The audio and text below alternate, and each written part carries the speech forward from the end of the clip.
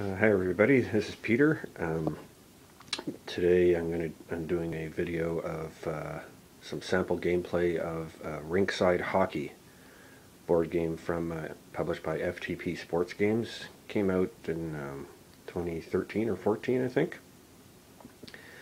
And uh, uh, this I just want to give you a, sort of a, an idea of the the footprint of this game. It's it's um, fairly large, but um, there's a lot of things going on. Uh, you have to excuse me, I'm battling a cold, so my voice is a little rough today, but uh, anyway, we'll uh, just keep going here. Um, now, this game is uh, is uh, available, um, it's a print and play game, so, excuse me, um, when you buy the game, he's, um, Jeremy sends you the PDFs and the Excel files to uh, print out. Now uh, the the uh, the charts and the rules and stuff are all in PDF, and uh, the uh, the the um, teams themselves are, are in Excel files. And the reason he does that, I'll just show you a little card here. Um, is that um, the card comes with, um, it doesn't have the, uh, the, the, this is Eddie Shack from the 61-62 Toronto Maple Leafs. I put the Toronto Maple Leaf logo here.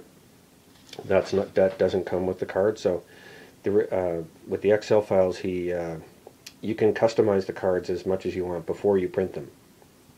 So uh, I put in the, the team logo on each card, and uh, there's a there's a um, a thread on the uh, FTP Sports forum on Delphi uh, called XL Card Ideas, where people have uh, experimented with uh, putting on different team colors, like they might have the team, might have the player's name in, in one of the team colors, or they'll put a border around the, the card and stuff like that. So that's that's kind of neat that you can customize the card uh, however you want, and that goes for all of the FTP games too. He's got football, baseball, and basketball, and he's working on a uh, soccer game.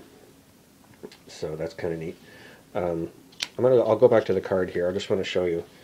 Uh, as you can see, there's a lot of information on uh, on the cards. Um, if you count it up, there's they're rated for about 30 different things, which is uh, quite awesome. This is this is a very detailed game, and uh, actually even more detailed than 4th Street Hockey. Uh, but and uh, it takes a long takes a long time to play. Um, I've only played this about six or seven times, and um, uh, and it takes me still takes me a couple of hours to play a complete game but uh, as I said it's, it's a large learning curve but uh, if you like a detailed hockey game you're gonna like this game. Uh, it's worth the effort uh, absolutely to um, learn uh, this game. Um, yeah I just wanted to show you um, the game comes with a sheet showing um, sort of a breakdown of the player cards and what each of the ratings means. That's the, the player cards, and there's a sheet showing the uh, explaining what all the ratings mean on the goalie cards. So that's quite handy. I don't have to refer to them anymore since I, um, since I know where everything is. Uh, yeah, so um, sorry, there's a couple other things I wanted to mention here. Um, yeah, for printing out, there's um, the cards, the player cards. There's 15 cards per page, and uh, so uh, you're going to be printing out two to three pages per team. Uh, just so you know. Um, this game has got a lot of different uh, neat little features, um, so we'll see that as we go. Um, it's got a few things that you roll for before the game starts. And uh, there's all sorts of uh, little things that um, uh, come out during the play. So I guess we'll just get going here.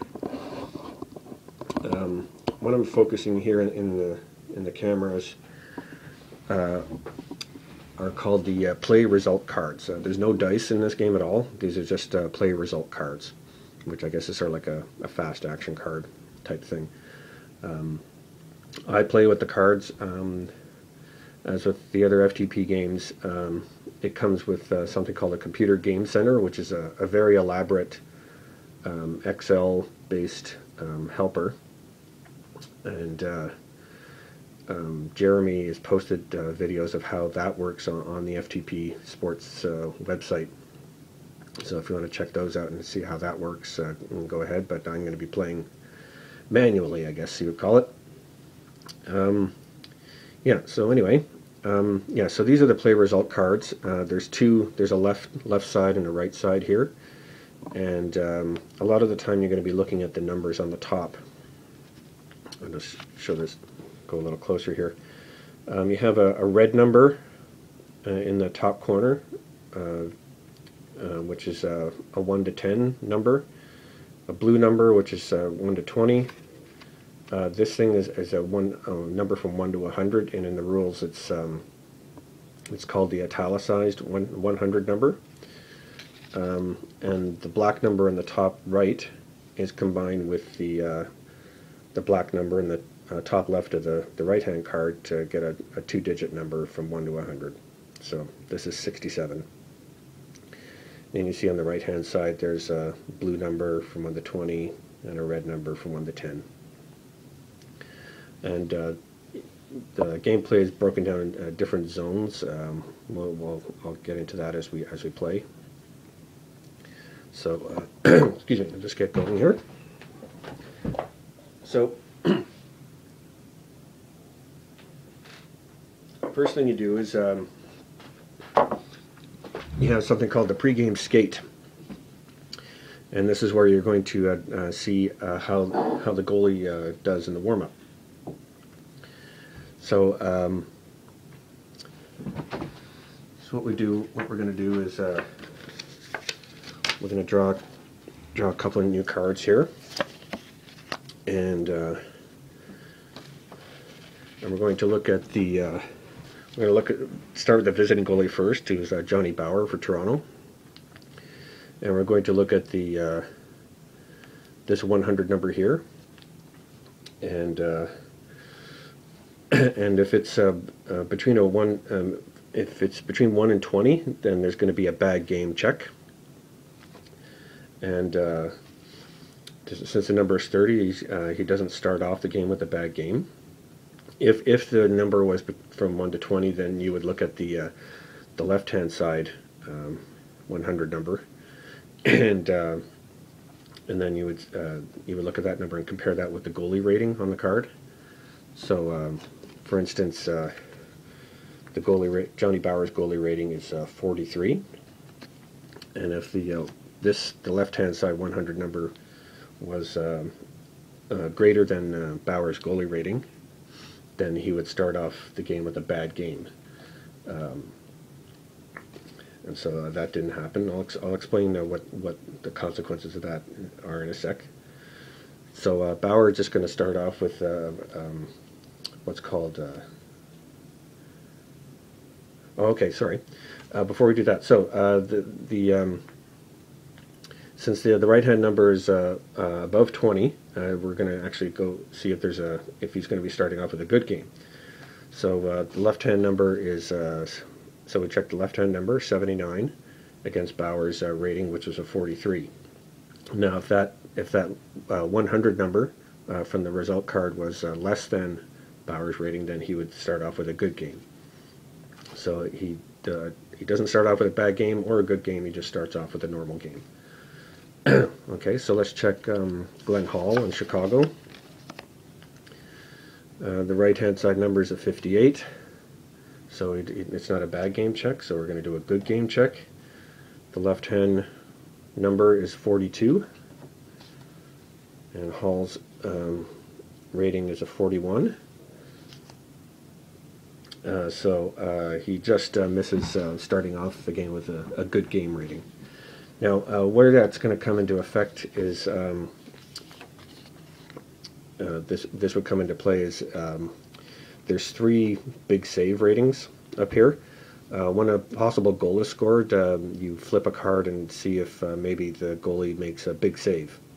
So if he's having a, a good game, um, and the, the, the, number on the card drawn is uh, 1 to 9, then he would make a big save on the shot.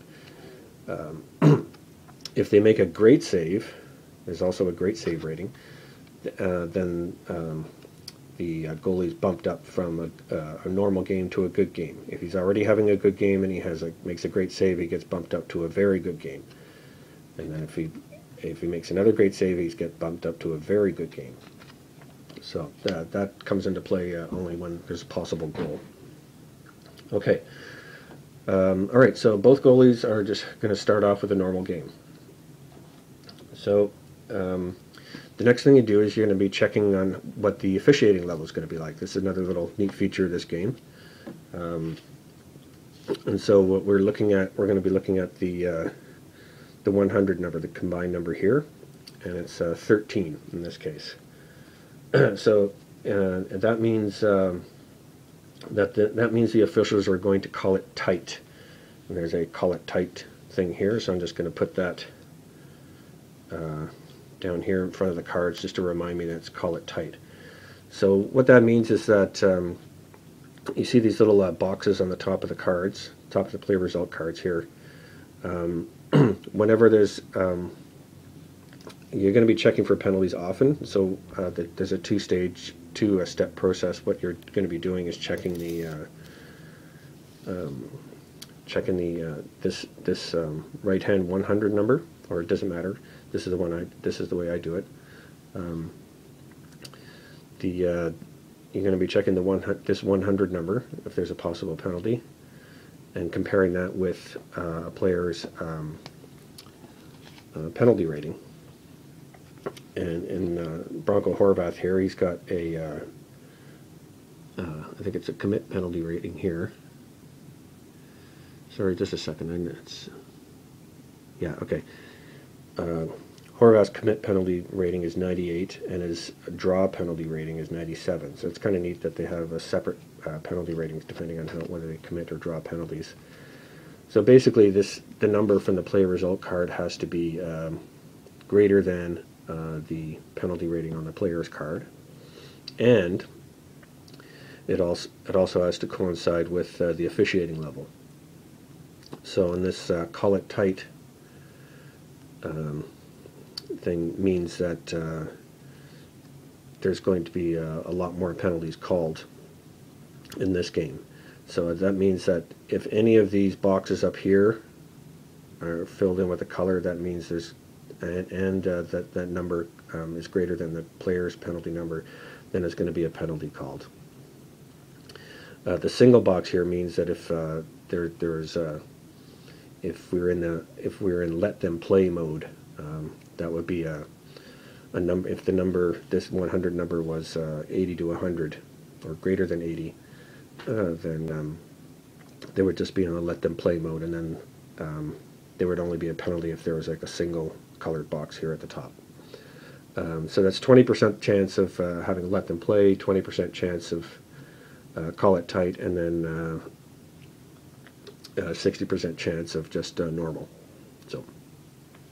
Okay, there's also uh, another thing you check for at the beginning is uh, the enforcers, and uh, you would you would uh, draw a card, and um, and I think it's uh, any number 35 and below means that the the enforcers are going to fight the first time that they're on the ice. Uh, there's there's some different scenarios. There, like one to 20 is like if enforcers are eyeing each other during the pregame skate or something like that, or whatever. So there's some bit of a story I've built into the thing here. So um, I don't play with the enforcers thing, so I'm not going to bother with that. Okay. All right, so um, let's get going here. So the first thing we do is a face-off. So um, obviously, so uh, up in the top right-hand corner is the face-off rating of the player. And so what you do is um, you take the difference between the two, and then uh, you would add 10. In this case, they're both the same, so that um, um, uh, 1 to 10 will be the visitor winning the face-off, and 11 to 20 the home would win the face-off. If um, so, I'll just pick somebody else here. Frank Mahovlich was taking the face-off. He's rated an 8, and Bill Hay's a 7. So the difference between that is 1, and then you would add 10 to that, so uh, 11. So that means um, Toronto would win the face-off on, on, a, on number 1 to 11, and Chicago win the face-off from 12 to 20. So have uh, Red Kelly facing off against Bill Hay, and we flip over both cards at the same time. And we look at the face-off number, which is here, face-off result number, which is seven. So that means Toronto wins the wins the battle, wins the face-off, and um, Red Kelly has possession of the. So we'll flip another card, and since we're in the neutral zone, we're going to be looking at um, this section right here. This this tells you that the center has the puck, which is uh, Red Kelly, and uh, the, these cards are meant to sort of line up from um, line up side to side, so you can just sort of line them up like this. So on the right hand, it's the left hand card in the neutral zone section. It says uh, right defense with a red background color. So that uh, the neutral zone is set up like a, um, a stoplight. So green light, yellow light, red light. Uh, green light means that the the offensive player uh, is not being challenged, or he can just freely skate into the offensive zone. Uh, yellow light means that there um, uh, there's going to be some uh, caution, I guess, uh, where um, the different options are to chip and chase, or skate, or pass into the zone, and you would draw and check against the, the rating of the, the offensive player. but this this particular situation is uh, a red light situation. So what we're going to be doing is um, comparing the uh, neutral zone rating of the center, which is Red Kelly, uh, versus the right defense on Chicago, who is uh, Moose Vasko. Sorry, it's not the neutral zone rating of Vasko we're looking at. We're going to be looking at his defense rating. So uh, Kelly's neutral zone rating is 13. That's on a rating of 1 to 20 and Vasko's uh, defense rating is down here in the bottom corner, and his uh, rating is a 9. That's rated 1 to 10, so he's very good defense. so now I've got this chart that um, somebody on the uh, Delphi forum uh, published, or, or I got from him. Um, AFJB is his username. Uh, he's very kind enough to share that with me. So uh, basically, I'm, I'm um, it's called a neutral zone red scenario, and so I look at the chart here. Um, Kelly's a 13 versus a defense 9. So what I'm going to do is look at the uh, the 100 number to see uh, 1 to 20 means that he's going to try to go for it and, and uh, uh get by Vasko. Uh, so, but uh, since Vasko's a 9, then it's, it's um, he's probably going to choose to dump it in. But what I do is I just, um, since it's Kelly, I'm looking at the, the 100 number on the left side, and it's 53. So he's not going to try and get it by. He's just going to dump it in. So uh, on a uh, the time for the timing sequence, uh, whenever the puck goes into the defensive zone, like or when the offensive team crosses the blue line, you move up the time 30 seconds. So everything's in a 30 second increment. So he's going to dump it in, and we flip the card. And so now we're going to look at the uh, the dump in section, which is this section here. And it says right away it was icing. So Toronto has iced the puck, and uh, and then we'll have a face-off in the Toronto end. I have a little uh, drawing of a little handmade drawing of a rink here, and a little token showing where the puck is and who's which direction the puck is going. Because uh, with so much going on, I find it hard. I find it hard to uh, keep track sometimes of uh, who has the puck, and because there can be a lot of uh, turnovers and stuff like that. Okay, so we have a face-off in the Toronto end. We flip our cards. Look at the face-off section. That's a 12. That means Chicago's won the uh, face-off. Excuse me. And the face-off has gone to the right defense, who is Vasko.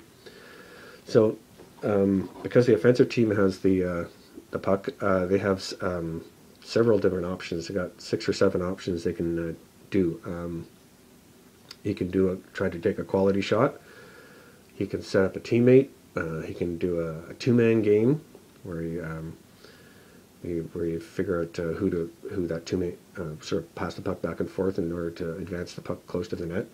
Uh, cycle the puck, simply shoot the puck on net or shoot the puck wide, in the hopes that maybe it'll um, cause a net scramble. Okay, so again, I'm going to be using this chart, and Vasko his, we're going to be looking at his offensive rating, which is the, the big number. You can see that, offense 11. And he's an 11. And so um, I'm going to be looking at the uh, this number here, the, the uh, since Vas Chicago's on the right, I'm going to be using the, the right-hand number here. And uh, it's an 18. Uh, this is just a, a, sort of like a solo chart, uh, sort of to make decisions instead of making the decisions yourself. Um, that, that's what that's why I'm using this chart. Uh, you can choose to whatever you want. Um, sorry, I should just go back here. Um, here's the here's Vasko's setup rating. This is one to ten.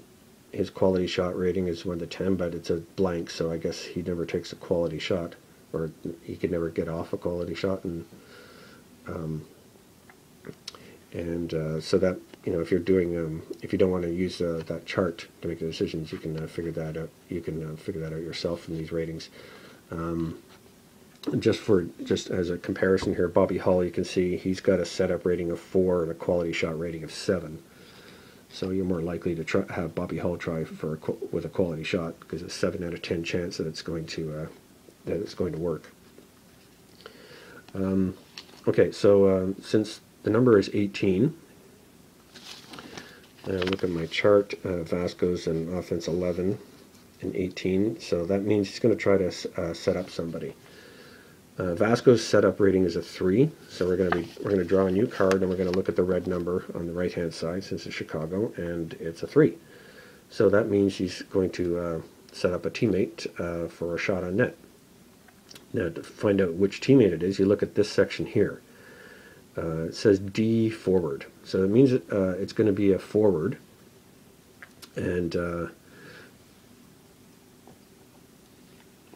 and what you're looking at here is that uh, this rating, the, the letter grade here, uh, Bobby Hull's an A, uh, Bill Hay's a B, Murray Balfour is a C. Uh, since it's a D-rated forward, um, we'll just um, take um, the highest one in this instance. If that said A forward, then it would be Bobby Hull. Um, there are some lines where um, um, it might say uh, B forward, but there's no nobody higher than a B on the line, so you would just take the uh, the first C rated forward or the first D rated forward. And if there's a tie, there's a there's a um, method to figure out who uh, actually takes the shot.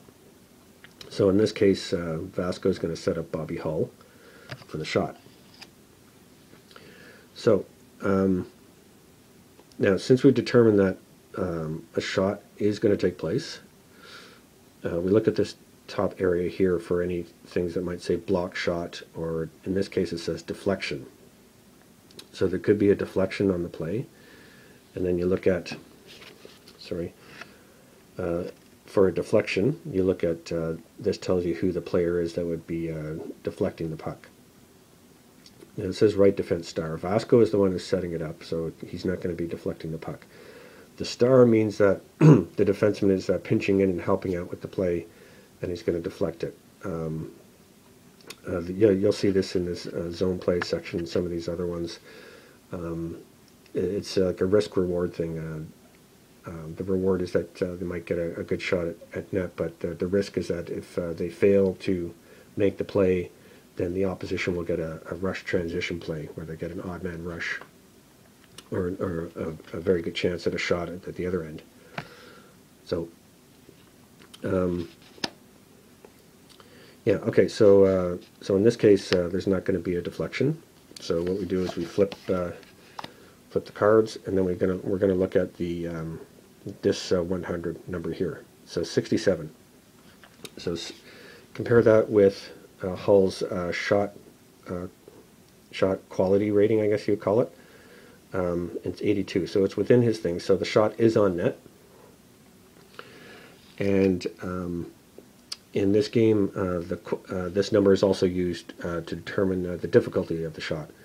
So anything with a 1 to 50 is termed a difficult shot, and anything um, 51 and up to the uh, player's rating number is a uh, easy shot. If this number, the 67 number, was outside of Hull's um, rating, his accuracy rating, then the shot would be um, would miss the net, and then it would be a loose puck scenario. So, um, so it's a, uh, it's, so there's two things here. So there's the quality of the shot. So you can have a normal quality shot, um, a high quality shot and a low quality shot. In this instance, where he sets, where a player sets up a teammate, it's called a quality shot. And uh, where that will come in is that when you look at the goalie card, uh, they have three numbers here in the top left. Um, uh, the uh, the left hand number is uh, the goalie's uh, save range on a high quality shot. The second number is for a normal quality shot, and the third number is for a low quality shot. So that means that uh, if when after you draw the the card the second time to see what to compare it against the goalie's rating, um, you know there's a 14% chance that uh, the the shot on net will be a goal with a high quality shot, seven percent um, with a regular quality shot, and one percent with a low quality shot, which makes sense. So, okay, so we. Um, so yeah, so we have the quality of the shot, and then we also have the difficulty level of the shot. The difficulty level shot of the shot comes into the second part here too. So um, the shot result here is a 41. So um, that compare that with uh, the ratings, it's well below the 93, which is the quality shot uh, number to look at, and um, Bower has made the save. Now, there's two columns here, and this is where we look at to see what happens with the puck. Um, this left-hand column here is for um, easy shots, and this second column here is for the difficult shots. So it just means since um, we have a result of 41, so we look at, and it's a, it was a um, it was an easy shot from Hull from the 67. so we look at the first uh, first digit of the um, of the uh, of the, shot here, four, and we compare that with the uh, the number here, and the four is uh, equal to or less than the first number here. So that means that Bower has saved the puck and he covers it up for a face-off. If uh, that first digit was uh, six or higher, then uh, that means he would save he would have saved the puck and the puck would be in the corner. For a difficult shot, uh, you can see that uh, there could be chances for a rebound. So you have a difficult shot and uh, that first digit of the number was an 8, then there'd be a possibility for a rebound. And then that would be a check to see if the defense clears the puck. And then if it's a 9, then you would have a rebound shot. And then that will be an, almost like an automatic uh, shot from uh, a particular player on the on the um, offensive team. Okay, so Bower has uh, saved the puck. There's a face-off, and um, we move, we advance the time to one minute. So uh, every face-off, what you have to do is check uh, this. Uh, you can see it says after whistle section. You want to see if there's any activity. This is another neat feature of this game is that you can have um, an agitator scenario. You can have scrums. I'll just you can just see it on the card before here. Here, um, you can have a scrum. And it says agitated, hot, and boiling. So what what you look uh, that means um, you start off the game with a normal game intensity, unless you're playing uh, back-to-back games and there were certain incidents that happened in the previous game. Um, but you start off with normal. Um, this game has uh, another thing called a chippiness meter, so that every time, um, not every time, but uh, sometimes when there's uh, an agitator scenario or um, or these scrums, um, the chart will tell you that uh, you know increase the chippiness meter by uh, by two, and uh, once the chippiness meter gets to 10, then you would increase the game intensity. So up to um, say agitated. So if the game uh, started off with um, intensity normal, um, and then it got to the point where it was agitated, and you and you had a whistle, and then this would come up, uh, that would mean uh, you would check to see what happened with the scrum because it, the the game intensity level was at agitated. So uh, hopefully uh, that'll come up. It's it's um, and I can refer you to the chart. If not, I'll, I'll show you the chart. Okay, uh, just before we continue, just, there's one other thing I wanted to show you, some of the other game materials. Um, this is uh, a board that has the uh, the timing timing chart here. Uh, this thing is where you, this section here is where you keep track of the momentum points. Um, uh, teams can accumulate uh, momentum points um, by delivering like a big hit or uh, killing off a penalty, scoring a goal.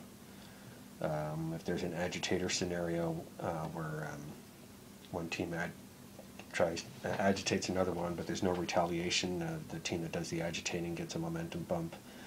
Uh, goalie making a great save or a breakaway save or um, drawing a penalty in an agitator scenario, things like that, or uh, winning a fight.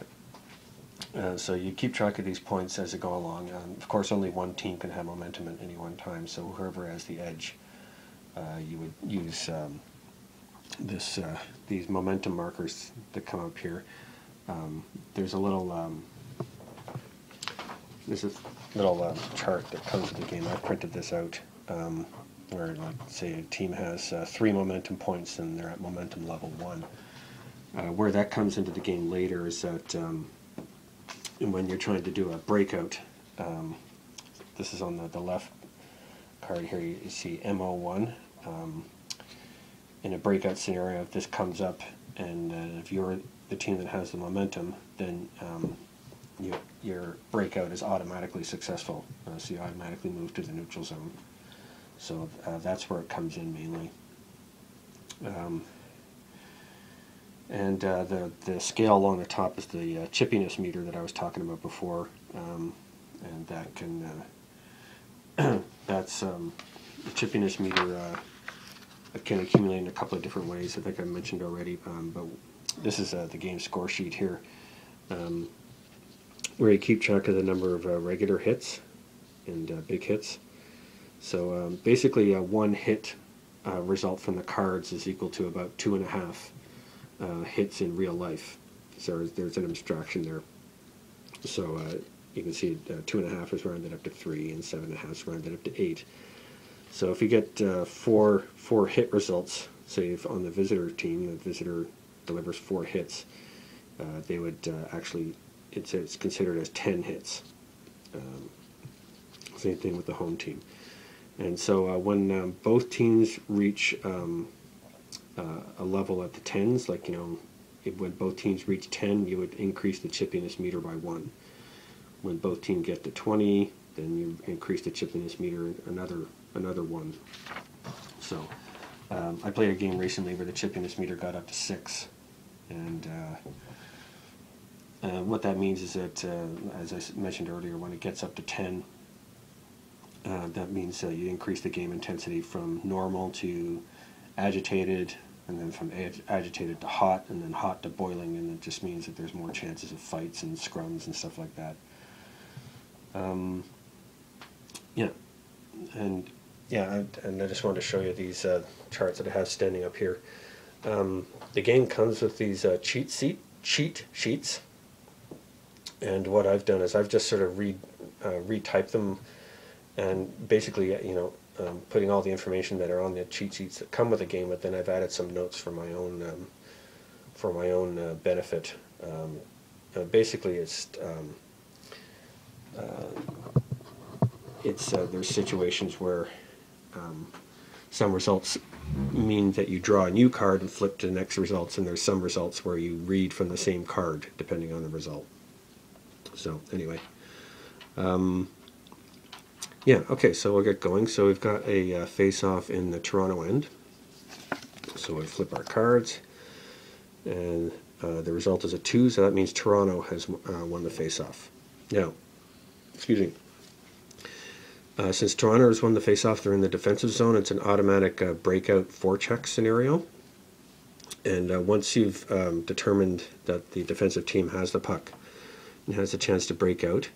You look at uh, the um, the numbers here, you combine them to get a number out of 100. So the number is 47. So um, and for um, if the number is uh, um, from 1 to 50, then it's a breakout scenario, and and then if, if the number is uh, above 50, then it's a forecheck scenario. So the number is 47. Toronto's going to try to break out. So now we look at the bottom of the card here. And for a breakout scenario, look on the right-hand side. It's kind of hard to read because it's it's um, it's um, it's a dark uh, dark color thing against a black background, and uh, for me that's really hard to see. But I, I, know that from the color combination that it's a, uh, a breakout scenario. So um, Toronto is in a forecheck two um, uh, configuration, so they're going to send two forecheckers in. Um, so it's a breakout scenario. See, so it's going to be a breakout. And then you look at this position here on the right hand side, which means the right defense is the one who's going to be trying to do the breakout. If it was a forecheck, you would look at the forecheck situation on the left hand side and the position on the right hand side. So it's uh, going to be a breakout scenario with the right defenseman. The right defenseman is Allan Stanley. And so what we're going to be looking at is his breakout rating, this BO rating here in the middle, and it's a 20, and that's a 1 to 20 rating. So you know right there that it's going to be an automatic uh, breakout, successful breakout for Toronto. So we flip the card and we look at the uh, the blue number for that. Um, it's kind of hard to read here, but it's a 10. That 10 is just there. Uh, it, that it's in yellow because uh, that could uh, trigger an auxiliary play, or uh, I guess a, a rare play. Um, in this case, uh, when you see a 10 like that, you look at the the 100 number on the opposite card, and if it ended in a zero, then there would be an auxiliary play. It, there isn't in this case. So um, the blue number 10, that's well within Stanley's uh, breakout rating of 20. Um, but uh, you're also going to be checking on this breakout thing to see if uh, the the, uh, the blue number from the card is also within the player's uh, headman rating, which is his HM rating beside the breakout rating. So it's not. So it's just a regular breakout. So Toronto gets to the neutral zone. So now we look at um, the neutral zone section of the card here. And uh, Red Kelly has the puck, and it's a neutral zone red, and the, the player on the defensive team who's challenging is the right wing. So that's Murray Balfour. So Balfour has a defense rating of 3. So if you were just uh, making a decision yourself, you probably uh, say, okay, well, Kelly's going to try to get around Murray Balfour to skate into the zone.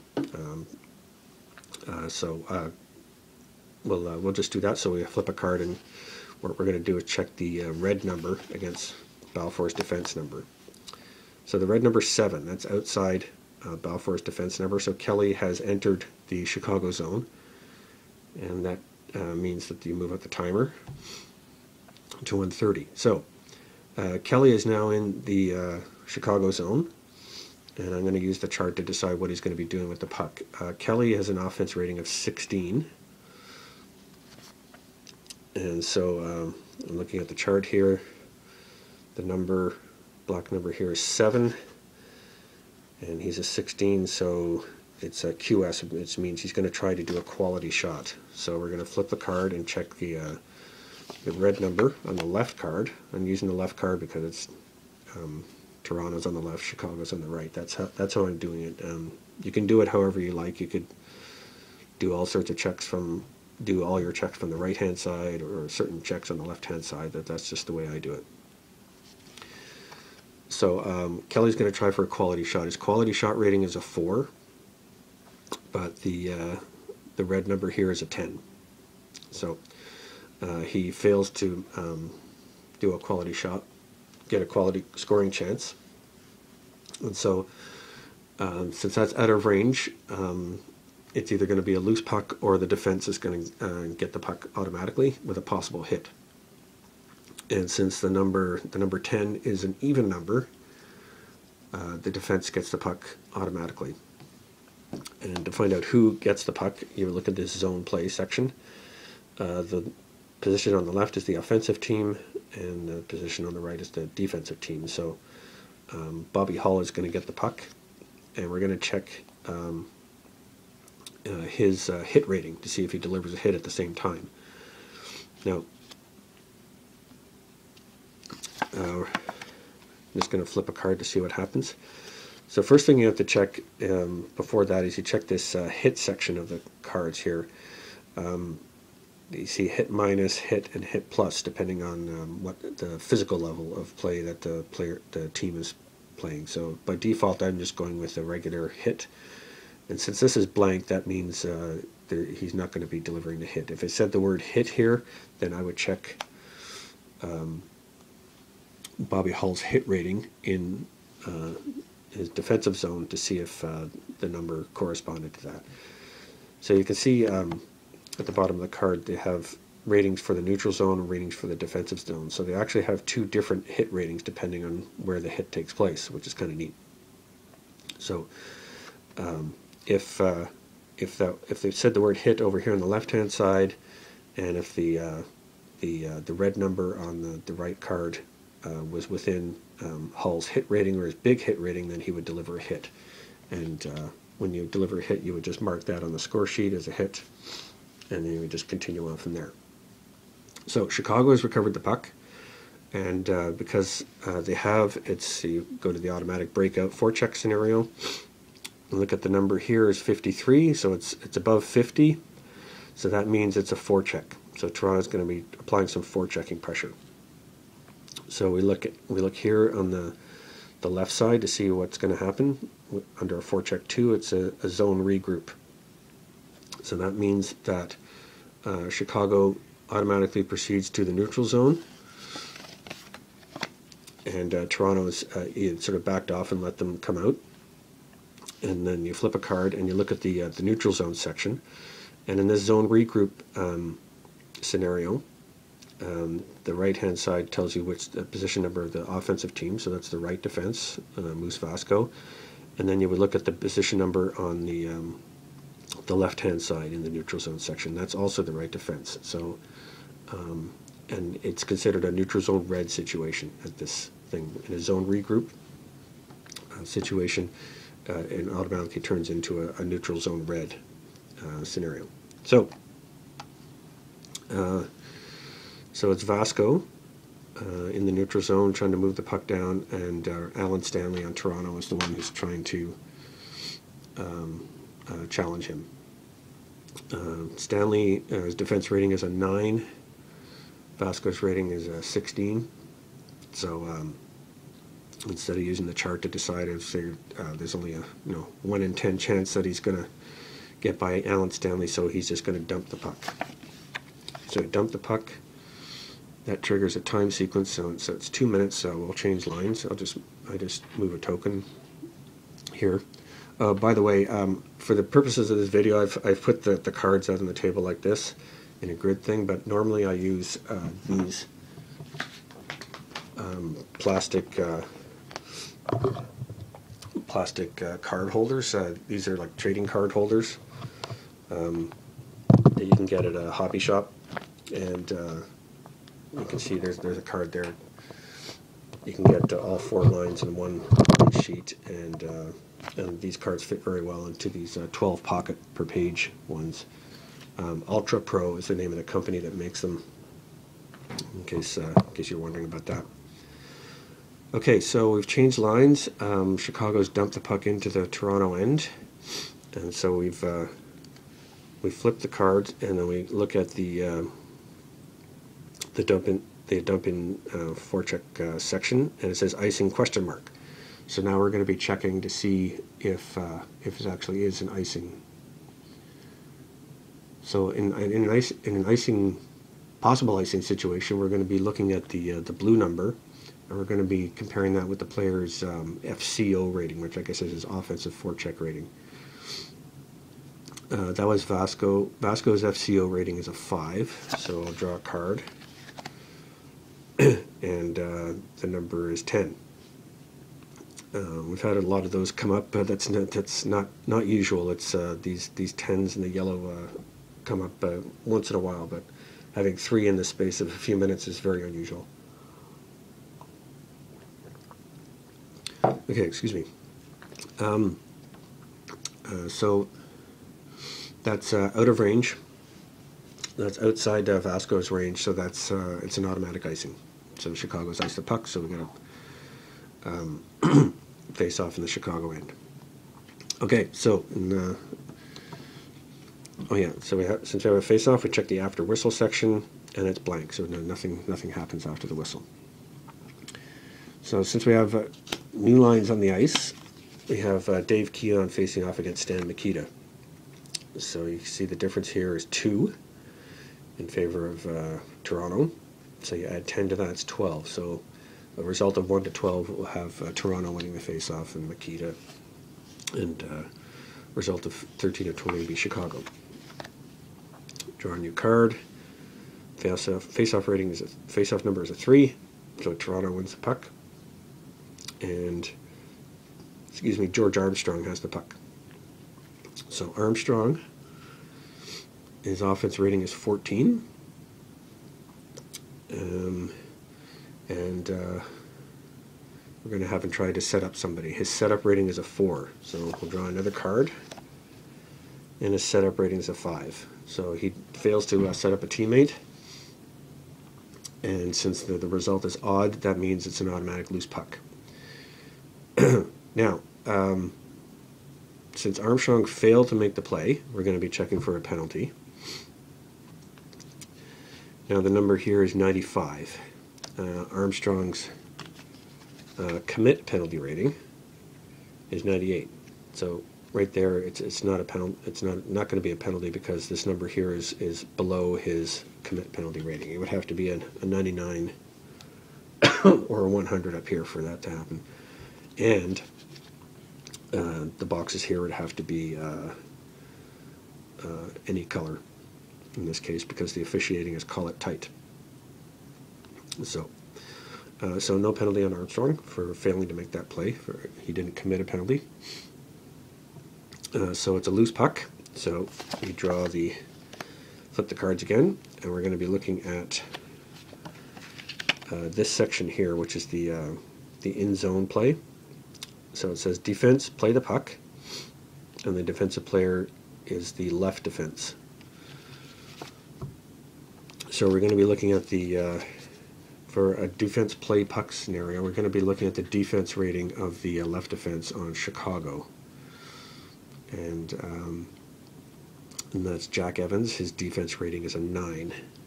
So he's probably going to be successful in playing the puck because the, the red range is 1 to 10. So we flip the card. Check the red number is 6. So uh, Evans is successful in playing the puck. Uh, he he uh, he gets possession of the puck, and because uh, this is a loose puck scenario, uh, he makes the play, so it's a possibility that he draws a penalty. But we look at the, the penalty number here is a 10, so it's automatically it's not within his all the penalty ranges are up in the usually in the 90s. There's a few that are in the started in the 80s. So so it's just I just wanted to tell you that you know this is the kind of checks that you have to make. Um, so uh, Evans makes the play on the loose puck, but he does not uh, draw a penalty in this case. So uh, the other thing you want to check for um, on some cards is that, um, I'll just find one here. Yeah, you'll see this uh, D uh, thing here, D-5, and there's there's different numbers. I think it goes up to 7 or something like that. So it goes from D, D-1, D2, D3, and that means there's a, a dirty play made. So whenever a, a, player makes a defensive play, you want to check that section to see if uh, somebody makes a dirty play. Uh, dirty play level starts off at 0, so at this at this time, yeah, it would it would only be a dirty play if there was simply the letter D there. If there was a D with a number in it, then at this point there would no there would be no dirty play. So that's another thing that uh, you, you keep track of is uh, the number of dirty plays, and that uh, that's on the bottom of the score sheet here. And you can see uh, see once a, um, a team has made uh, three dirty plays um, they're up into the uh, uh, D D1 level. Okay, so um, so Evans has the puck, and they're in the defensive zone, so it's a, a breakout forecheck um, scenario. So we look at the number here; it's uh, zero zero, and so that's a forecheck. So we look at the forecheck section here. So Toronto's going to apply pressure, and it's going to be from the right wing. So and that's and that's um, then we're going to be checking um, the blue number with um, Armstrong's uh, FCD rating, which is down, down here. So his FCD rating is 9, so there's about a 50% chance that he'll uh, be successful. So we check the blue number on the left card because it's Toronto doing the forechecking. and it's within Armstrong's FCD rating, so he's successful at applying pressure. So uh, that means that Toronto uh, gets the puck, so it's a, a, turnover. So Toronto gets the puck, and um, Armstrong, we'll see what Armstrong does with it. So Armstrong's uh, offense 14, and I'm going to use the chart here. So, um, well, I'm, no, I'm not going to use the chart actually. I'm going to uh, uh, pick a different scenario, one that we've seen before. Okay, so let's say he's going to try a, uh, uh, a shot at the net. Let's uh, let's do that. Yeah, okay, let's do a shot at the net. So uh, Armstrong's decided that he's going to take a shot at the net. So once you've determined that a shot is going to take place, that's when you look at uh, this section up here for the defle block shot or deflection. Um, as you can see, here's an example of one where it's a block slash screen or a block shot out of play. So that's where you would look. Okay, so there's a possible deflection. You look at the uh, the person who might be deflecting it, and it's the left wing. So that's um, Dick Duff. And for deflect possible deflections, what you're going to be looking at on the next draw of the card is uh, the net rating, which is 3. Okay, so Armstrong's going to take a shot at net. It could be deflected by Duff. So we'll look at the, uh, the red number, to see about the possible deflection. It's 6, so that's above Duff's rating, net rating of 3, so there's no deflection possible here. So now we look at uh, this number here to see uh, the difficulty level of the shot. It's a 12, so that's below 50, so it's a difficult shot. Um, and uh, since he decided to take a um, just a shot at the net in this scenario, um, it's considered a uh, low quality shot. So there's a very little chance that it'll it'll go it'll um, it'll score a goal. So it's a low quality shot, but it's a difficult shot. So then we flip the cards again, and it's an 0-2. So um, Glenn Hall uh, saves it easily because um, his uh, low quality shot range is 99. It would have to be a, a 100 for it to be a possible goal. And since it's a difficult shot, um, we look at this column here, the second one, with the numbers in the boxes, and uh, the first digit of the uh, the shot result is a zero, and that's below four. So Hall saves it and covers it up for a face-off. Face-off. So we have an agitator scenario here after the whistle. So what we do is we draw card, new cards and we look at the, uh, the left-hand side 100 number here is an 85. And we're going to look at uh, this chart here, which is the, uh, the, the uh, penalties um, agitator scenario chart here. And so we look at down in this agitator section here, and the number was 85. And so we look we look here. So um, 85 is above 75, so we look at this, it's possible thing here. So says the visiting team agitator gets under the skin of the opponent, we check for a possible fight. So I'm just going to keep that handy because we have to look at things. So, so there could be a fight here. So um, the visiting team agitator, so we, are going to be uh, drawing a card to see who the agitator is going to be. Okay, so we look at the, uh, the left uh, 100 number here, 75 and we look at the uh, sorry the agitator section here number 75 and uh, we look here and it's down here so the uh, the agitator is the uh, right defense on the visiting team. So that's Bob Baun and we look at the uh, the number 100 number on the right hand side 75 to see who the retaliator is so 75 corresponds to the left defense so it's Bob Baun who's agitating, and Jack Evans is uh, on Chicago as the retaliator. So um, we draw another card here, and we look at this uh, number here, 33. We go back to this ch agitator chart, and we look at this column here, 33 is below 40. So the agitator uh, rating that we're looking for is a 2.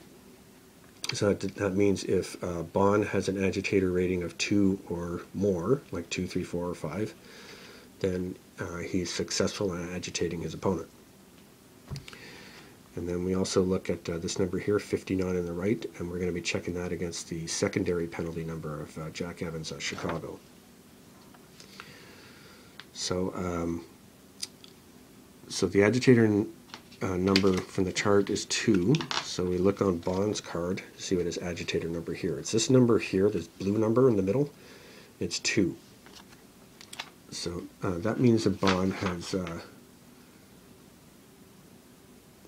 he's he's been successful in agitating Evans, and then so then then we check to see if this number 59 compare it with Jack Evans' secondary penalty number. The secondary penalty number is the number right below the agitator number, which is 92.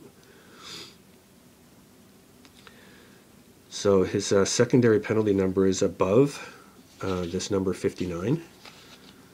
Uh, so that means that Evans uh, retaliates, and uh, since um, the initial scenario said to check for a fight, that means a fight automatically happens. So we go to the fight chart. So um, uh, the fight chart is kind of interesting. I'll, I'll, I'll go through this, um, even though this is going to take a while. Um, it's going to be a long video, folks, so you can tell that already. Um, sorry, I'll, it's going to be a bit slow. I've only done a fight a couple of times, so I have to sort of consult the rules because I, I, don't have this on my little uh, quick thing here. So, uh, yeah, and, and, I'll have to confess, I'm not sure if I do this right because there is a thing in the rules that says you check to see who's going to be in the fight. So, um, you would, you would draw cards to determine who's actually going to be uh, the fighter. And so it's not necessarily the people who did the agitating. It could be somebody else involved in the fight, which I guess uh, makes sense because you can have things where somebody starts a scrum or something like that, and then two other players end up fighting. So.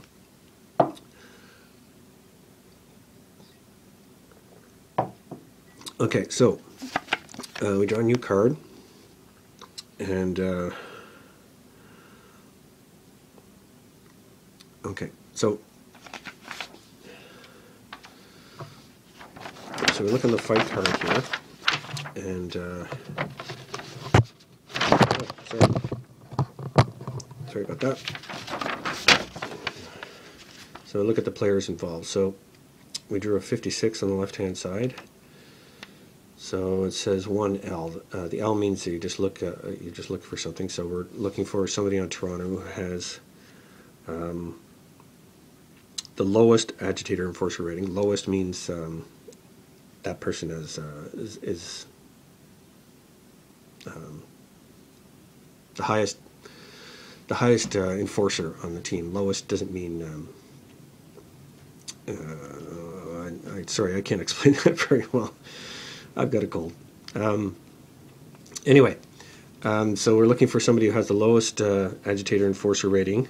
Um, and since the L is there, um, and the lowest secondary penalty number for the fight so I'm not going to um, bring up every card. So uh, Baun and Brewer have the lowest agitator ratings. They're both two, and uh, Baun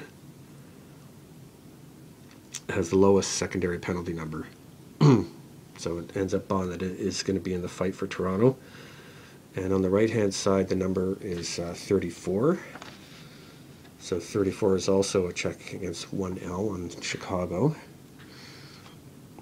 Uh, so we have uh, Stan Mikita, who uh, has the lowest agitator rating, which is a 2. And so uh, he's the only one with a 2 on Chicago on the ice right now. So it's going to be Bob Baun against Stan Mikita.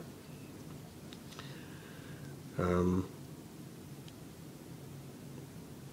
now they, yeah, so they both have an agitator rating of a two. This is kind of like the face-off scenario. So um, if there was if there was a difference between say two and three, and then you would add uh, one, 10 to the difference, and then um, the one with the lower rating, 3, would be a 1 to 11 in a chance of uh, uh to determine who gets the advantage. So in this case, uh, it, uh, there's no advantage. It, it's it's sort of 1 to 10 for the visitor, and and 11 to 20 for the home team. So in this case, we're looking at the the left, uh, the blue number on the left side, so 18. That's the home team, so that means that uh, Mikita has the advantage.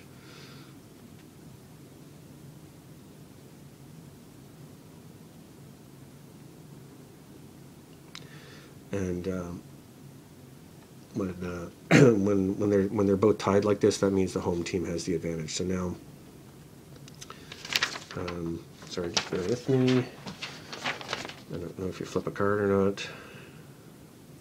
Yeah, okay, these, the, the, uh, so now we use the right-hand side, um, blue number to see, uh, what, what the result of the fight is.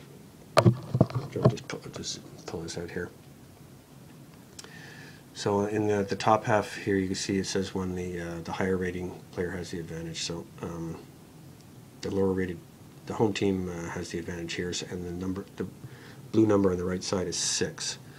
So we look at six, and that's uh, below seven. So it says both both players land big blows, even finish. So nobody actually won the fight. So what you do, you go over and then you check to see what the effect on the momentum is. In this case, there's no change. And the chippiness meter, you empty it, so it gets reset. So if the chippiness meter is up at eight or nine, then it would be reset to zero. So um, there's a couple other things to do to resolve this. Um, okay, so uh, we look at the uh, the black 100 number here, um, 86, and uh, see if it's within. Um,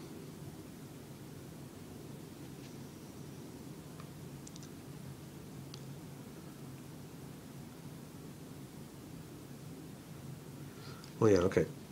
To see if there's going to be an instigator or other fight results. So um, the black number is an 86. And uh, if you look in this section here, um, it doesn't fall in with the range here. So um, there would only be a an instigator or other fight results if uh, that number was between 1 to 10 or 90 to 100. So it's 85, so nothing nothing happens there. Um, so we also have to check for misconduct uh, in addition to the fight. So it says to draw a new card. And uh, so we use the left uh, 100 number here, which is 37. And we check against his uh, secondary penalty number. Um, secondary penalty number is 85. Um, and so if this number from the card is equal to or greater than the secondary penalty number from the player card, then they would get a misconduct. Uh, 37 is below 85 for Baun. On this side, 73 is below Mikita's secondary penalty rating of 90, so neither one gets a misconduct. And so the one last thing to check is you want to check the effect of the fight on the game.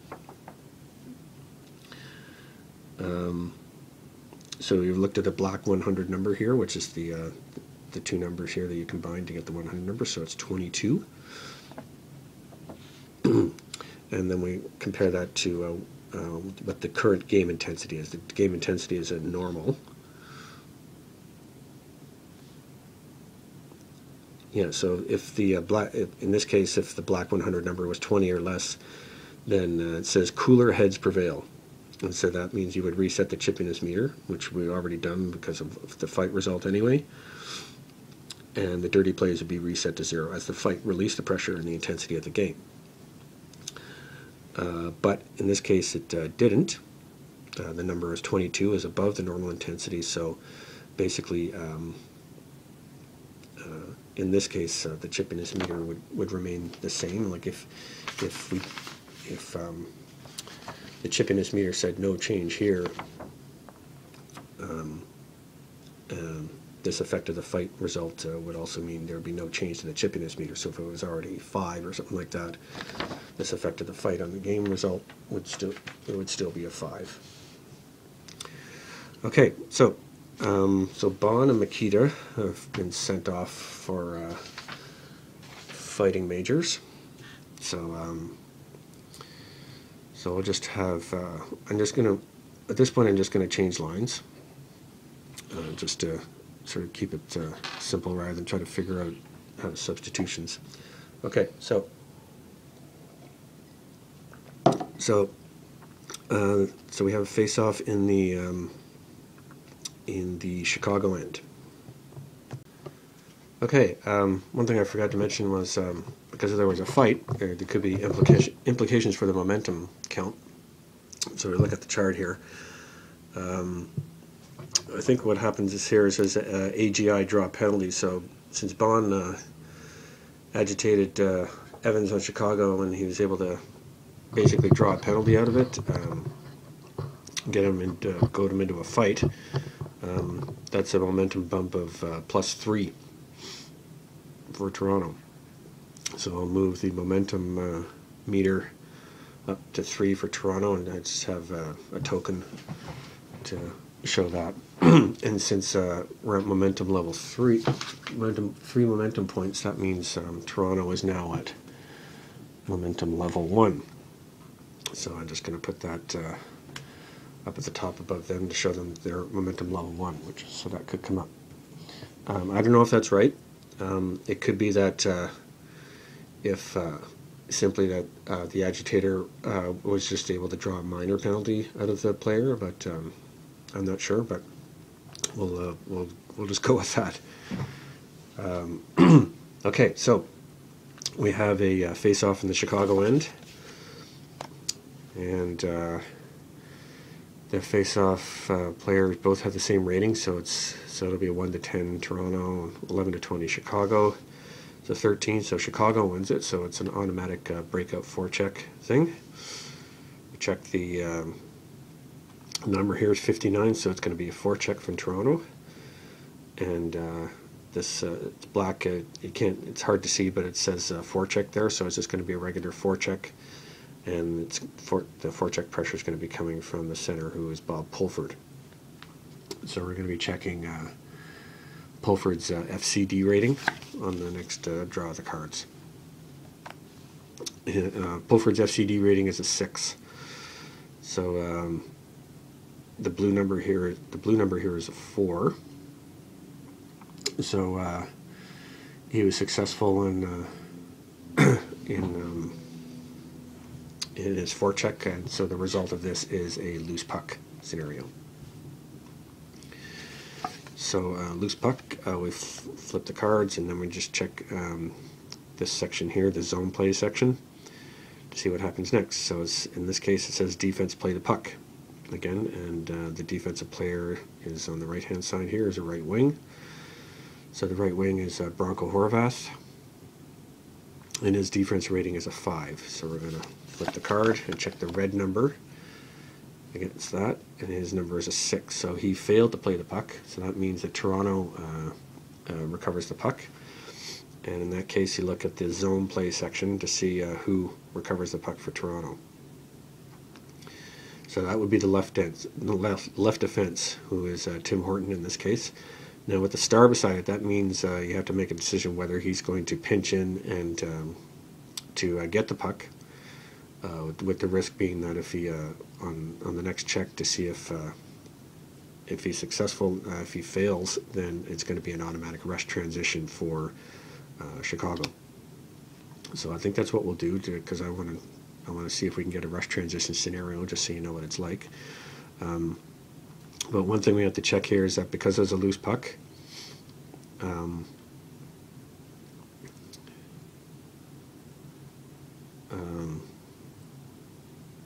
sorry, the previous uh, play was a defense play puck, and uh, um, uh, Horvath failed to uh, um, uh, play the puck, so we take a look at the uh, penalty number up here, and it's a 98 and uh, the 98 is actually within Horvath's um,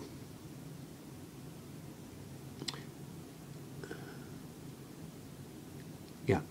The, the number 98 is uh, equal to equal to um, Horvath's commit penalty rating which is the number in red here so we have a possible penalty and then we're going to be looking on this side here for the number of um, colored boxes and all three of them are showing which means uh, that uh, there is going to be a penalty here uh, on the part of Horvath. He's committing a penalty.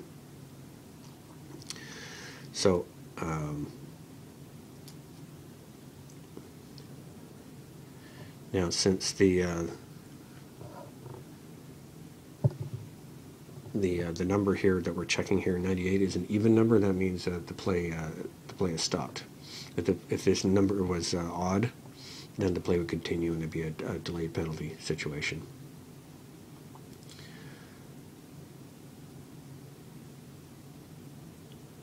Okay, so for just for simplicity's sake, we'll just say that Horvath gets a penalty. The, there, there is a chart that comes with the game where you can determine uh, uh, what kind of uh, penalty they get. You would you would check a number and then you would see what it is. So let's Hor say Horvath uh, gets a penalty. um, so I'm just going to flip his card over for now, just to say, we'll just keep the same uh, players on the ice. Actually, no, we'll put we'll put um, Toronto's first line on the ice and we'll keep uh, this third line of Chicago on the ice because uh, they're the players' defensive ratings are about the highest that they that are on here. So we've got Eric Nesterenko and Ron Murphy. So we have a power play situation. Um, again, uh, we had uh, since there was a whistle, we checked the after whistle section. Nothing happened. So uh, we moved the uh, time up because there was a play stoppage, and so we're going to have a face off in the Chicago end.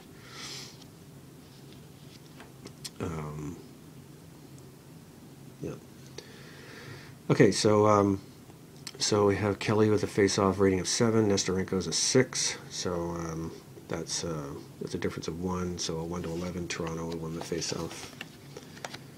So the um, the number's at ten. And so Toronto wins the face-off. It goes to the left wing, which is uh, Frank Mahovlich. So uh, Mahovlich. Um, let's see. He's going to try. He's going to try this um, two-man game. Let's say. And so, um, if in that case you would use, um, you would look at uh, the uh, zone play section, uh, the offensive player to see who's the teammate is. Uh, since it's, it's since it's also the left wing, I'm just going to draw another card to see if I get a different position here. So, so the right wing. So uh, what you're going to do is going to look add up the two the offense ratings of the two players. Uh, is an 18, Bob Nevin is a 13, so that's 31. So we're going to draw cards again, and we're going to be looking at the uh, this 100 number here to see if it's uh, within 31. It's not so the, they failed to get the two-man game going. And, uh, and so that and uh, the number is an even number, so it's an uh, it's an auto puck recovery by the def defense with a possible hit. Um, in this case, uh, you would you would look at the uh, the defensive player position and it says the center, and uh, I think, as with most hockey games, I think when you when you're doing a penalty kill, you usually leave the center uh, position vacant. And since this is a vacant position, I would I'm going to assume. Let's just say, for the sake of argument, I'm not sure if this is right or not, but uh, uh we'll say that uh, the two-man game worked, and, and um, Toronto still has the puck.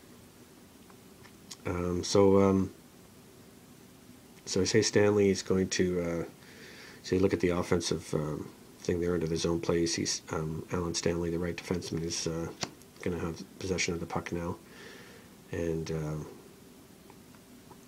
uh, he's going to uh, he's going to try something. So um, I'm going to use this uh, chart here. Uh, Stanley's a 14, and the 100 number is 88. So that's a shot at the net. So, uh, so we determine that a shot at the net is happening. They don't see anything about shots or um, blocks or uh, deflections or screens, so nothing happens there. Uh, the number's in 99. Uh, so uh, when you when you're checking the shot target thing, um, whenever the this number is 97 to 100, that means that the shot is wide and uh, the puck goes all the way out of the zone into the neutral zone. So now the puck is in the neutral zone and um, and normally you just uh, draw draw a card and then you would look at uh, this this here to see if it says H or V excuse me but um, since it's a power play I'm just going to make an executive decision that um, sorry. Make an executive decision that uh, uh, Toronto gets the puck automatically. So, um, so now, uh, um, because uh, Toronto's on the power play, we have to see if they um, successful in setting up the power play.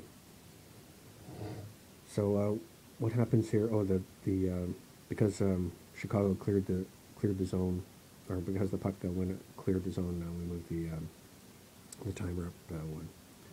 In this case, um, so what we have to do now is we look at the um,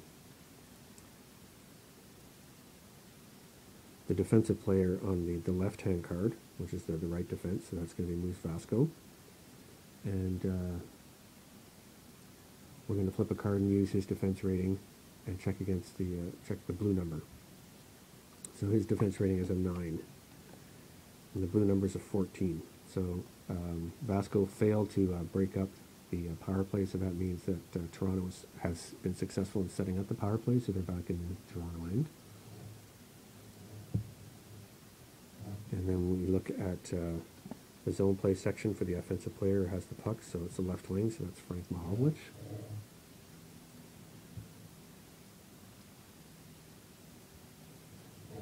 Okay, so Mahovlich has the puck. And uh, I'll use the chart this time, so uh, he's an 18 and the number is 94, so that means he's going to uh, deliberately shoot the puck wide.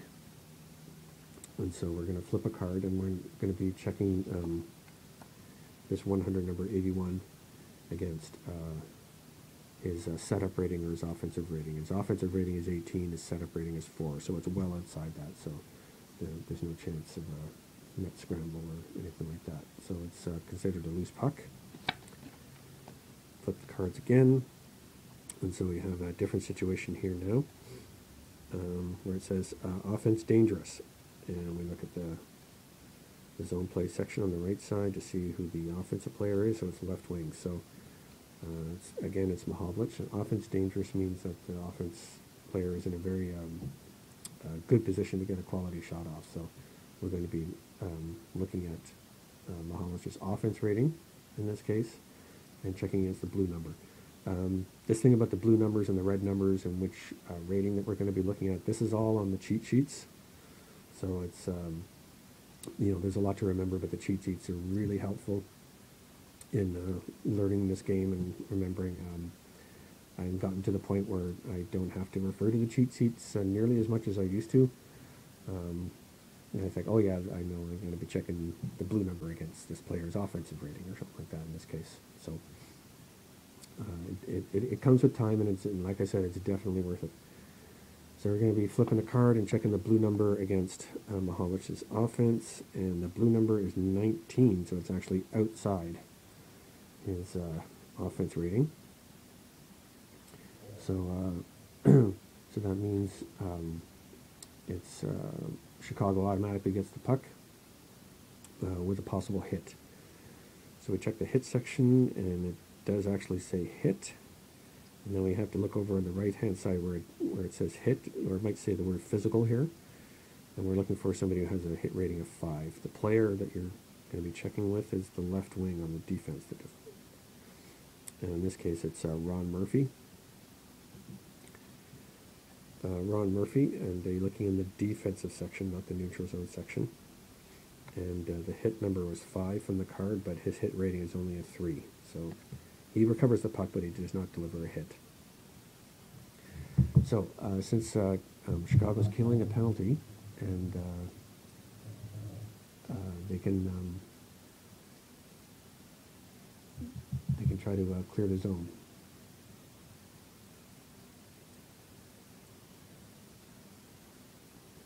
Um, sorry, it's, it's, I haven't done penalties very much, um, dealt with penalty kills very much, so. Um, I just have to look at my cheat sheets here to see what's what happens next. Okay, I think uh, in this case uh, we treat it like as if uh, Chicago won uh, the defensive zone face-off. So we're going to flip the card and check uh, the, the, blue number, 19.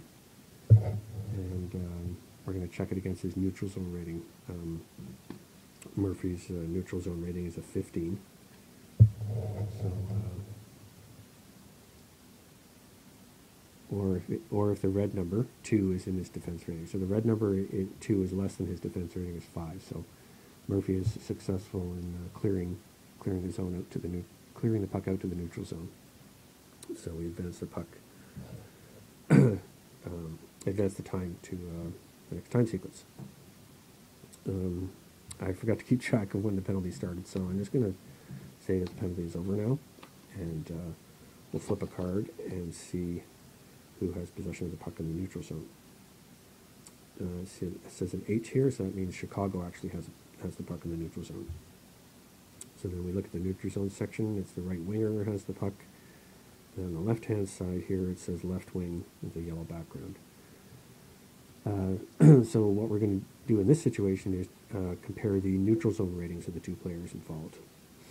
So uh, Chicago, it's Murray Balfour, the right wing. His neutral zone rating is a 13 and the left wing on Toronto is Mahovlich, who's also a 13. So when they match up like that, when there when there's, there's no advantage to the offensive and defensive player, we mark a time sequence uh, just to simulate the fact that there might be a, a, battle for the puck in the neutral zone. And uh, and then we draw a new card, and we look at the neutral zone section again. See who has the puck. So it says H again, so Chicago has the puck again and it's uh, Balfour has the puck, and it's a green. So that means that Balfour gets to enter the Toronto zone unhindered. And um, so, um, so what we can do is see what uh, Balfour's going to be up to. So his offense rating is a 13. Remember here it's 15. So he's going to try and take a quality shot. Uh, Balfour's quality shot rating is a 3 and uh, the red number here is a 4, so he doesn't do the quality shot. Um, since he failed to make a move, you check the, uh, the penalty number. His number is 48. It's well below his penalty number, so there's no possible penalty there. Excuse me. And um, and uh, the number uh, is a 4. And um, since it's an even number, it's uh, um, it's an auto puck recovery by Toronto with a possible hit. And you look on the zone play section for the defensive players, the left wing, so Mahovlich is the one who gets the puck. Uh, we look at the hit section, hit is there, and physical is 5. So we look at um, Mahovlich's card. His physical rating is a 7, so he, he, um, he lays on the body to get uh, the puck, so uh, that's considered a hit. So I, I, mark a hit for Toronto on the uh, on the score sheet. I just mark it low right there. And Mahovlich has the puck. So Mahovlich has the puck in their own zone, and uh, they're going to try to do the breakout forecheck thing. So the number here is 91. So that's a forecheck situation from Chicago. We look at um, the forecheck two there. It's going to be a forecheck and the position here is the left wing. Uh, yes, and um, just so you know, um, made the defensive move to, to get the puck, and uh, we see a dirty play thing, but the number is six, and uh, so that's too high, so there's no dirty play involved. so it's a forecheck pressure from the left wing on Chicago, and that is Bobby Hull.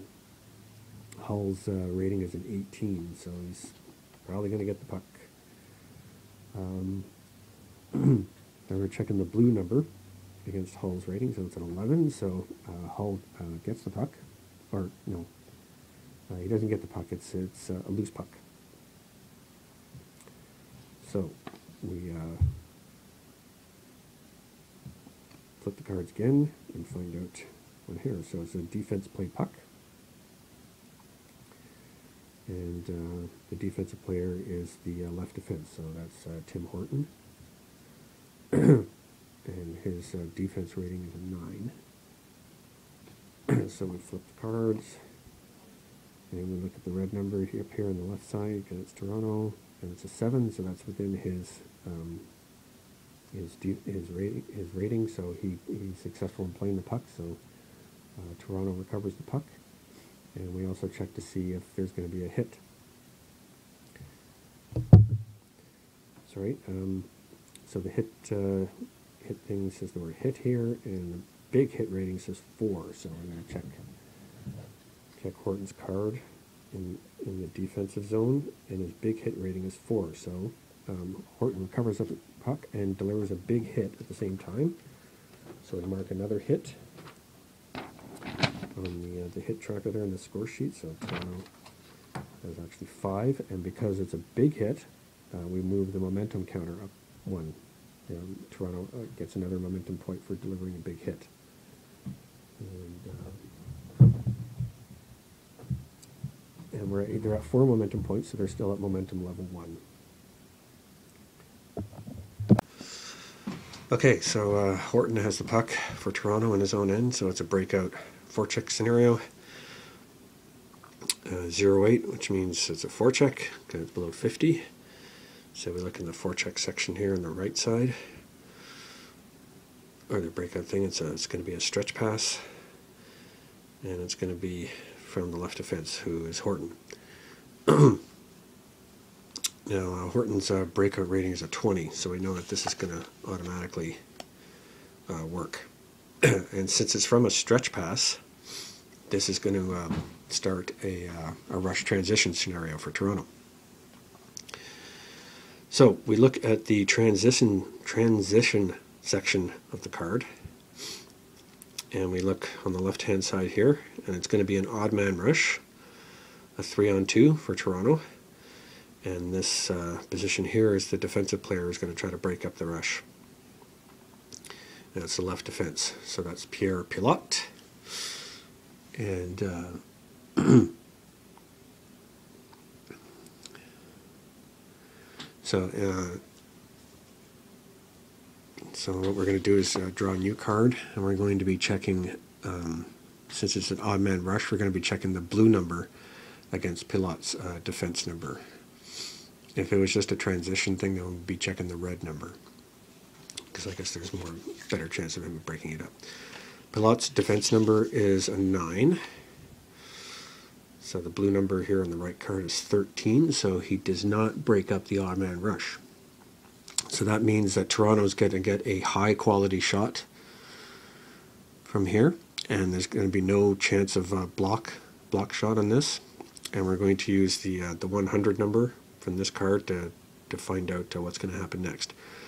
So in a rush transition uh, scenario, um, if the if it's successful, um, we, this number here, if it's uh, 1 to 47, then um, the player is going to take a shot. If it's uh, 48 to 94, that means the uh, player is going to pass it to a teammate. And if it's uh, 95 to 100, then he's going to do a drop pass. But uh, since this is a, uh, a 2, it's going to be a high quality shot. So we look at the transition section and that'll tell us the player is going to get the shot. That's the right wing. In this case, it's uh, Bob Nevin. So it's going to be a high quality shot from Bob Nevin. So now we determine that there's going to be a shot. So we look at the, the top part of the left hand side here and we see the word screen. So there's a possibility that um, somebody's going to screen screen the shot against the goalie. And we look at uh, oh, sorry, we look at uh, this this section here to see who's going to screen it. It's going to be the left wing, that's Mahovlich. and his net rating is a 5. So we look on the, the left-hand side, the red number is a 3, so Mahovlich is going to be screening this shot from Nevin. So it's um, this, what this is going to do is it's going to trigger a, um, um, a check against Glenn Hall's uh, rebound control rating. But uh, that's not going to happen because um, the shot is off target. Um, Nevin's uh, shot accuracy rate, shot on target rating is 78, and we have a 95 here. So um, the shot is uh, wide, and we have a loose puck.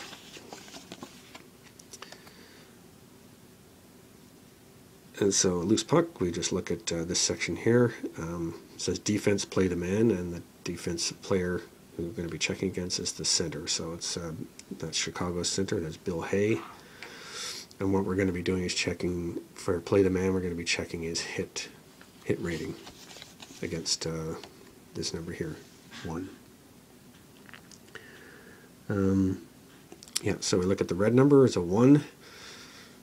And then Bill Hay, we look at his defense, and it's within his hit rating, and it's also within his big hit rating. So Hay delivers a big hit for Chicago, so that triggers a momentum bump of one for Chicago. So Chicago now has one momentum point. Toronto still has four, so Toronto still has a momentum. And uh, we also mark off um, a hit on the hit tracker on the score sheet. So uh, they recover the puck. Okay, um, I'll just uh, stop there. I just want to go through the uh, scenario. So let's just say, um, let's just say Nevin's shot was on target. Um, back there. So we'll just uh, we'll just flip the cards here again,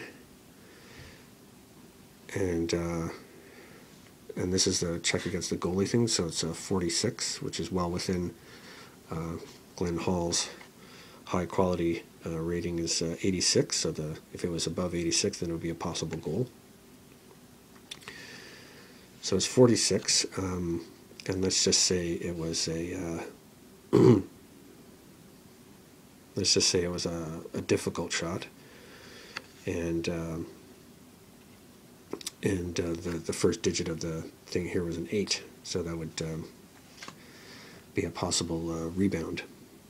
no, actually, since uh, that that that shot, we determined that the shot was going to be screened if it was on target, so it's it was it would automatically uh, trigger a um, um, a rebound control check against Hall. So uh, the rebound control number is this big blue number here, 16.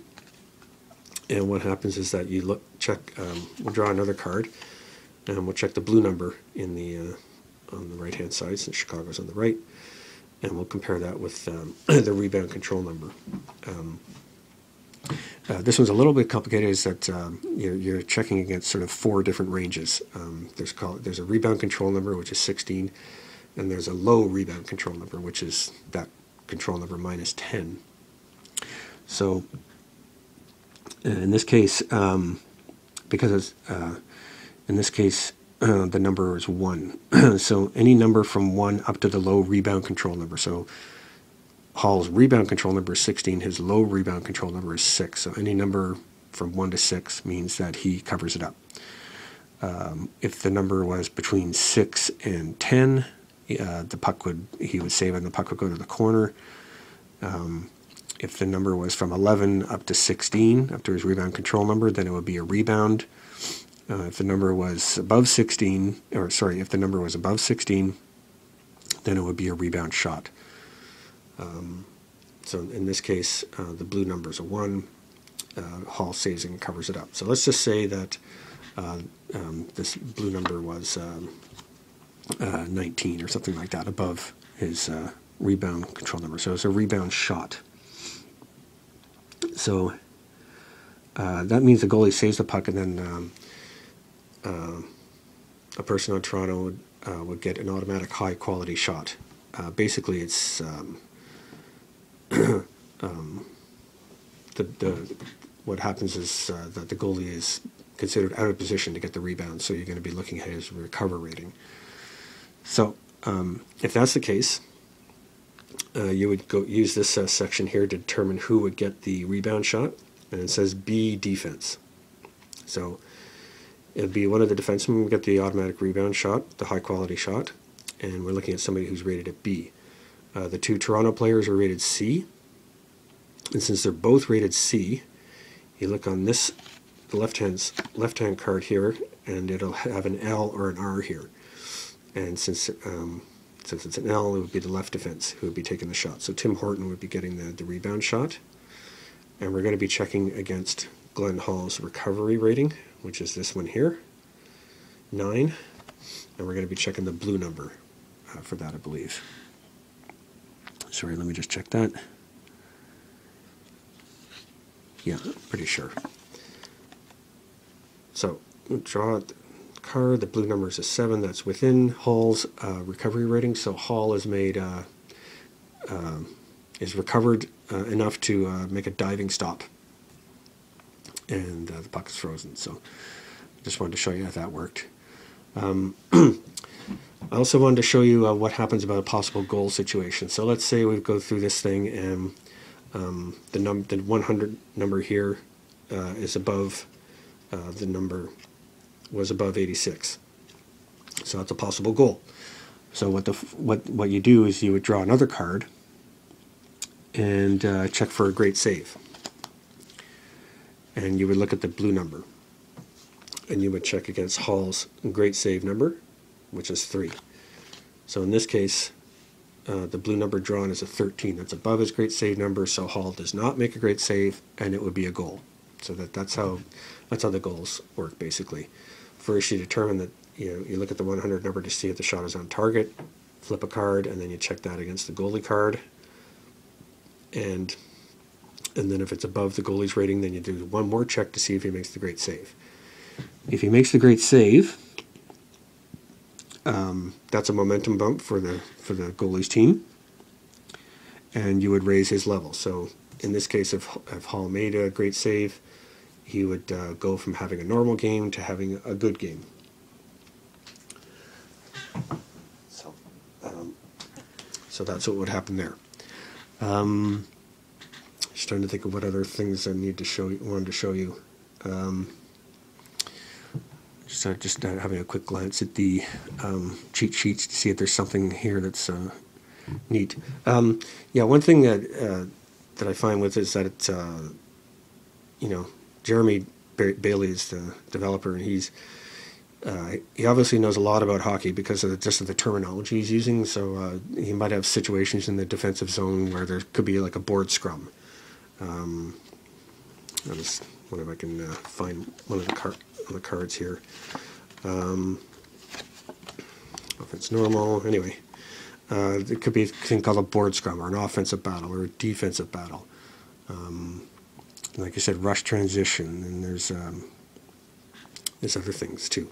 Oh yeah, there's a few other things I wanted to show you. Um, yeah, if if um, on a breakout forecheck and say that the team is trying to break out and you check against the breakout rating and uh, the, the, breakout fails, you would draw a new card and, and refer to this bad break section. And uh, you can have different um, situations there. You could have where it's just a loose puck in the in the um, in the defensive zone. Um, it could be a loose puck in the neutral zone. It could be a turnover. And if, and if that happens on a bad breakout, then the other team gets a rush transition chance. Um, is something that says D control. It just means the opposition gets control in the neutral zone. Um, um, yeah, some of the neutral zone um, scenarios that can also come up on the yellow thing is, um, see if I can find one.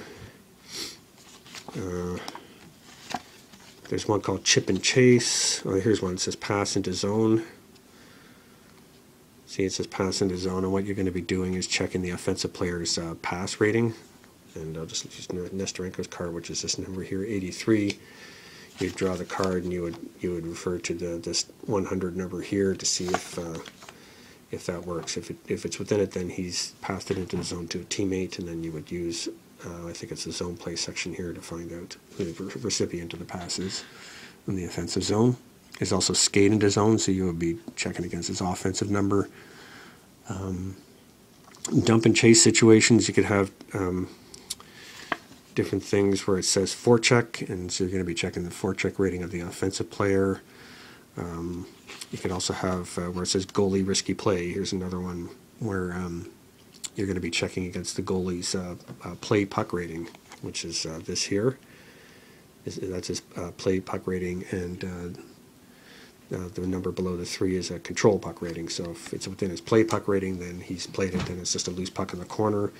If it's within his control puck rating, then he's passed the puck to a teammate, and, then the teammate goes to the, the break, has a chance to clear the zone or do a breakout. Um, what else? Let's see. Um, Yeah, you can have. Um, oh yeah, um, on um, on shots you can have something called a net scramble. So uh, when you when you're drawing after you've determined that the shot is on target, and um, you you check the flip the cards again and check the this number here. If it's uh, doubles, then it's uh, automatically a net scramble section, uh, situation, and then you would flip the card again and you would check this net scramble section of the card here. And uh, in this case, it says clear, which means that uh, you would have you would um, look at the defensive player in the, in the zone play section, the left wing, and you would have to do a check against his defensive rating to see if he clears the puck uh, away from the um, in front of the goal. It would just it just be cleared the puck into the corner and be a loose puck after that. Um, so that's kind of neat. That comes up. Um, you can also have a, a, um, some rare situations where uh, when you're looking at the number to determine if the shot is on target, if it's um, uh, if it's doubles in the upper half of the 1 to, 1 to 100, so like 55, 66, 77, or 88, then uh, the player is um, either fanned on the shot or sh- uh, the stick is broken or something like that, and it just goes to a loose puck from there. You can have situations like that. Um, one thing in the breakout forecheck area is that uh, uh, player can choose to use a uh, Bobby Orr move, he calls it, and that that's where you would take the player's offensive rating and add his breakout rating to it, and uh, and then you would uh, check against uh, the 100 number here to see if it's within that. So say uh, you know Pierre Pilote wants to do this Bobby Orr move. He has his offensive rating is 14, his breakout rating is 30 or 20. So that means his uh, his uh, total rating there is 34. So if you draw draw the number and number's 34, then he makes a Bobby Orr move, and um, then you would draw a new card and he uh, would carry it to the neutral zone. If it's within if the number was, was within his breakout rating, then he uh, finds a teammate for a rush transition play. So that's uh, another kind of a neat thing to do, neat thing to happen. Um, yeah, and uh, if um, and there's also things if uh, if you know uh, for these rush transition things if if uh, if it fails, like the defensive player is able to break up the play, you would look at this failed section here um, to see what would happen. It's a puck out of play in that instance. Um, yeah, so all in all, um, I really like this game. Um, yeah, it takes a long time to learn it, but uh, it's such a detailed game. I love the game of hockey, and this has just about everything. It's not a complete stick touch to stick touch game, as uh, Jeremy puts it, uh, but there is some ab- abstraction, but uh, there's not a lot. Um, but as you can see, it flows really well. Um, he likens it to a connect the dots thing, you know, where you just sort of go dot to dot and just follow the play, and uh, and it just follows very logically. And uh, I'd highly recommend this. Um, the game itself, I think, is like fifteen dollars, and uh, for the game parts, and then I think each season is uh, fourteen or fifteen dollars, and he's got about I think about a dozen seasons available at the moment. Um, one thing I like is that uh, once the, uh, the the most current regular season ends, he's got the cards available for that season available within days of the regular season ending.